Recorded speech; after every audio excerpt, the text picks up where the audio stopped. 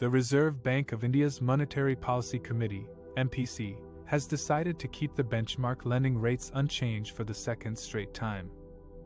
Governor Shaktikanta Das marginally lowered projections for inflation while being bullish on growth. He remained wary of external developments that may affect the trajectory of GDP growth and inflation in the coming months. The MPC since May 2022 hiked rates by 250 BPS and has paused since April.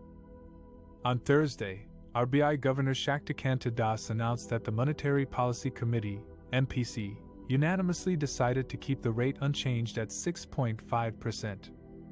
While keeping the interest rate intact, Das noted that headline inflation in India still remains above the central bank's target of 4% and is expected to remain so during the rest of the year. Five out of the six members voted to remain focused on the withdrawal of accommodation to ensure that inflation progressively aligns with the target, while supporting growth, with Jayant Varma expressing reservation on the stance.